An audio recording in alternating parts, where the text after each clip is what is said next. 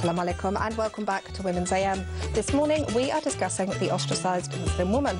We've discussed a few scenarios before the break about what can lead to this feeling of isolation, but I want to move on now, Sister Saima, to talk a little bit more, um, you know, about what are our responsibilities towards these sisters. What can we do to help them? So the Prophet ﷺ, he said, a Muslim is a brother to another Muslim, and any Muslim who alleviates the burden or the worry of another believer, Allah subhanahu wa ta'ala will personally alleviate the worry and the burden for that believer on the day of resurrection, when we're all going to need a lot of mercy and a lot of help and a lot of burdens alleviated. The person who exemplifies this hadith best, of course, is going to be the Prophet ﷺ. The Prophet ﷺ was a person who always sought out um, the weak, the destitute, and essentially the rejects of society, the people had, that that had been uh, ostracized. One beautiful example that every single time reduces me to tears is the example of Zahir. Um, this is a man who basically had a skin condition and he was quite, um, dameem is the word in, in word in Arabic, means he was quite uh, ugly, basically. Right. Um, this is a man that was uh, used to work in the marketplace and used to, because of his uh, appearance, used to work in the backs of the marketplace. Um, and not a lot of people used to hang around with him, including Muslims. They were very um, uh, embarrassed to be around him. The Prophet ﷺ knew this. The Prophet ﷺ knew that this man suffered from low self-esteem. He sought him out in the marketplace and played a joke on him. Uh, he came behind him and grabbed him and started saying, Who will buy this slave of mine? Who will buy this slave of mine? He did this in order to attract attention to the relationship he has with this reject. Yeah? You I don't want to be around him. I am not only going to be around him, I'm going to embrace this man publicly. Yeah. When uh, the Zahir actually felt the, the hand of the Prophet ﷺ on his skin, which nobody wanted to touch, and obviously we know the Prophet ﷺ, his skin was softer than silk, mashallah, um, he actually stopped fighting back. He stopped like tussling with the Prophet ﷺ because he was so overwhelmed with this, this uh, scenario right yeah. here. And um, after he said to something, though, that really emotionally affected the Prophet ﷺ and really upset him, he he said, oh, Ya Rasulullah sallallahu nobody would ever want to buy me anyway. And this oh, really affected yeah, the Prophet yeah. ﷺ. He turned him around, placed his hands on his shoulders and looked him directly in the eye and said, in the eyes of Allah, you are so beautiful.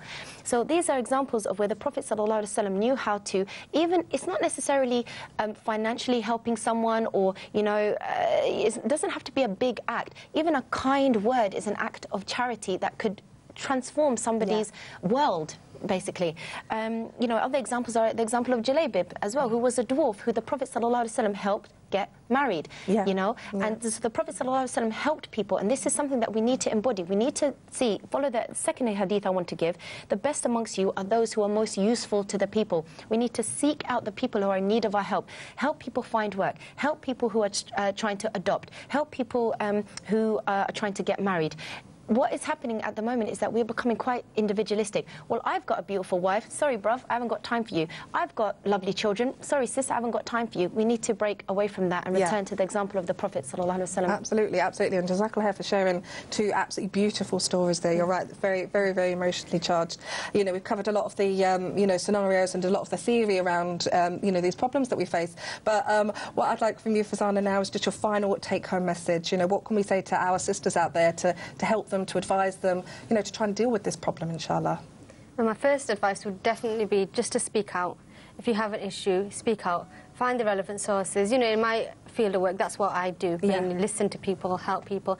So don't be afraid of saying things. Don't be afraid of being shunned. Because you know what? You don't need them anyway. If they're not going to help you, you don't need them. There's someone out there who will help you. Talk about to educate each other. Yeah. And, and definitely, if you feel like someone is doing something wrong, speak out because yeah. you will be asked um, because watching oppression, allowing it ha to happen, mm. you yourself are complicit in it. You are, yeah. you are an oppressor. Whether you say, no, no, I'm not, I don't mean for it to happen, you're doing that. Yeah. You're just yeah. as bad as a person who's doing the oppression. Yeah. So definitely help each other. Um, the sisters shouldn't be afraid. There's this, inshallah, together we can work together as a community and eradicate this ostracisation. It should not be happening anymore. Absolutely, inshallah. Jazakallah for that beautiful reminder. And Sister Nusrat, have you got a final take-home message one of the, the um, one of the things I would say is in increasing the dialogue as well. Yes, talking about it, not just within each other, but also raising that awareness. We should actually get our organisations, um, such as, for example, your organisation that help deals with this, and actually collectively work together in that sense as well.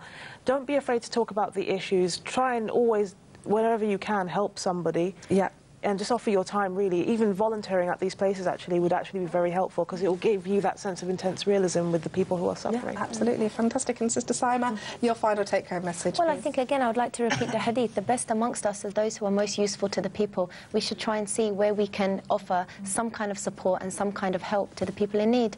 Yeah, yeah, absolutely. And I really loved your reminder there about the small acts because I think sometimes, you know, we kind of think, I don't have money, I don't have a lot of time, you know, I really don't see how I can help or how I can, you know, improve the situation for these sisters. But you're absolutely right. The small acts, the mm. small act of kind words or smiles or, you know, just showing that you're there for you and not, not judging these sisters. I think that's really, really important. So Jazakallah khair, sisters, some really fantastic advice there.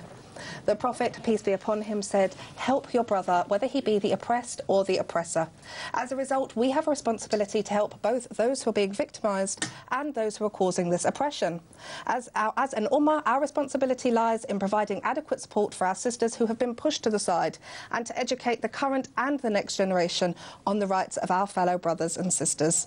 This has been such an informative discussion and it really is an important topic. But if you missed any of it, then all is not lost. You can catch the repeat tomorrow morning at 6.